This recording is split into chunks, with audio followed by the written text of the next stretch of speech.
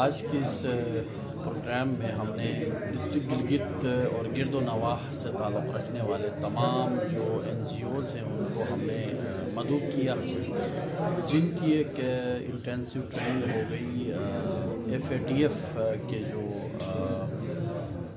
کے تحت پاکستان کی جو اوبلیگیشنز ہیں، جن کو نیکٹا نے نکات کی شکل میں یہاں ہمیں دیے ہیں، جن کا مقصد یہ ہے کہ جو سماجی ہماری تنظیمیں ہیں، وہ بڑا اچھا کام کر رہی ہیں۔ لیکن اس میں خدا نے خواستہ کسی غلط مقصد کے لیے اگر کوئی اقدامات خدا نے خواستہ ہوتے ہیں۔ ان کو کس طرح سے ریگولیٹ کیا جائے، اس لیے یہ ضروری ہے کہ ہم اپنے این جی اوز کو یہ اویئرنیس دیں کہ وہ ان گائیڈ لائنس کے تحت کام کریں۔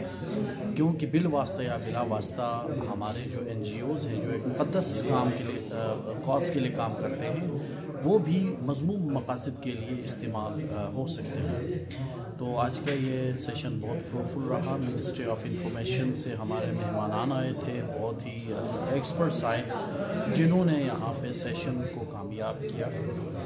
اور میں امید کرتا ہوں کہ اس کے دیر پا اثرات ہوں گی ہمارے اس معاشرے سے، جو کسی بھی ممکنہ مسئلے کے مداوع کے لیے، جیسے کہ ہمیں پتہ ہے کہ بلتستان جو ہے امن و آشتی کا گہوارہ بنتا جا رہا ہے۔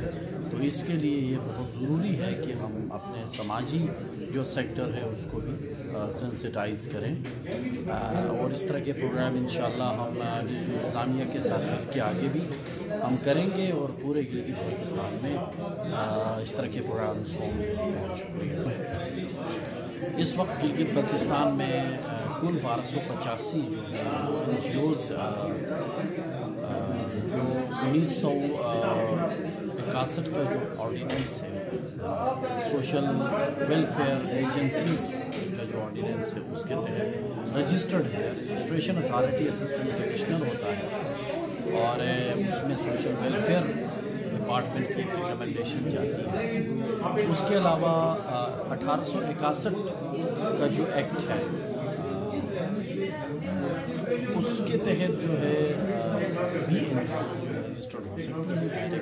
سوشل ان کی تعداد ابھی کوئی ایک سو اٹھاسی۔